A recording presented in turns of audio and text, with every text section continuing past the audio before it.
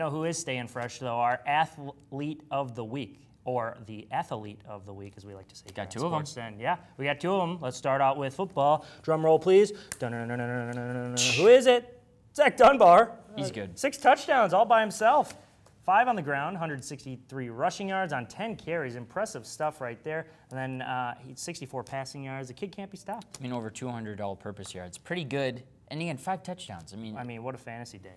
Very good. I, I, very I, I have six leagues. I lost every single one of them this week. Wow. Well, that's a shame. All right, we got another athlete of the week. Our female athlete of the week. Uh, drum roll, please. It is Khyah Harper. I mean, she, like you Go said, figure. hat trick in the section final. What's better than that? Uh, I mean, well, that's when your best player plays their best in the most important game at the biggest time. That's what you look for. It's what you dream of as an athlete. Her excitement, very enthusiastic. You could see it in the highlights. It's what you work for. It's why you put in all those hours. To have a hat trick in the section title game, to get your team to go to the bank, hopefully, if you win your first round uh, quarterfinal matchup. Uh, good job by her. Ama- amazing week for our teams, really. Fantastic The stuff. boys and the girls for Centennial both in state. Let's Yeah, go. A lot of